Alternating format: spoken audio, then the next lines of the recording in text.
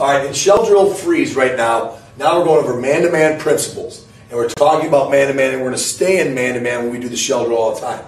What's going to happen here is, is say one has the ball. The reason I call it freeze is because I will be blowing the whistle to get these guys to stop uh, when I want them to stop to make sure everyone's in position. We do the freeze to make sure everyone's in the position they're supposed to be in. When we start with the ball here, one's got pressure.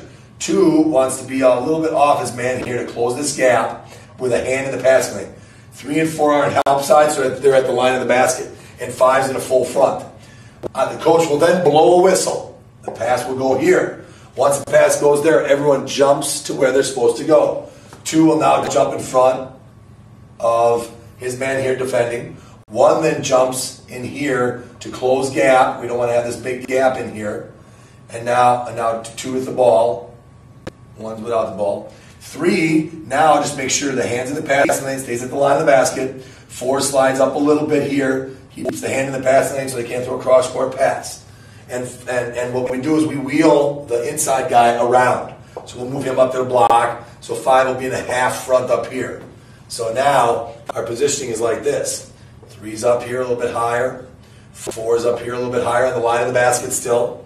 And now five is defending up here, up on top. Now, what, now here's the big, the, the, the most important part. Once this ball is passed to the opposite side, everyone's got to jump to the ball and be in the spot that they're supposed to be in by the time this ball is caught. This is real easy for three and four. Three's going to come and just defend straight up in, in front of four, in front of the, uh, their man. Four's got to run to the passing lane. Remember, not running to the man, run to the passing lane and def- deny here to close this gap again. Now, one and two are the ones that got to really haul. One's got to haul all the way back to the line of the basket, and two's got to go all the way to the line of the basket by the time they catch. Because now they're on help side. So now, now our shell drill looks like this. Each time we do this, the coach will blow the whistle each time the ball is passed because we want to make sure that uh, that uh, everyone's in the proper position. All right, so now our position is here.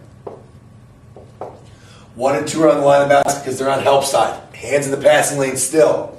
Three's defending their man. We call it a bent arm away. So you're close enough where your arm's bent and we're tracing the ball.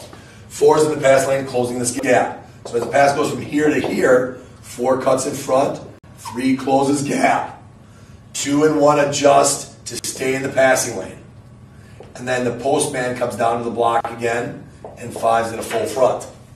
We then enter the ball in the post, have everybody dig. Ball gets passed to the post, everybody digs. Everybody digs in. Ball gets passed out, we then do something that we've done before in the help and recover drill. We simply have the man flash up high here like this. Uh, this man dribbles here, so four gets beat. So once this guy moves up, five's up here. We have one and two, and one goes outside the lane to help. Two slides down the, the, the line of the basket, stays on the line of the basket to help here, and five's closing off this passing lane here. And three is in this area here, trying to close out this pass over here, like we do normally. And then they just bring it back around, and you make sure you freeze at each spot so the coach can make sure that the guys are where they're supposed to be. Remember, when you're on strong side, strong side, the ball's here, the man, you're, you're defending your man like this because we want to close that gap. If you're on weak side, you're at the line of the basket. That's shell drill freeze.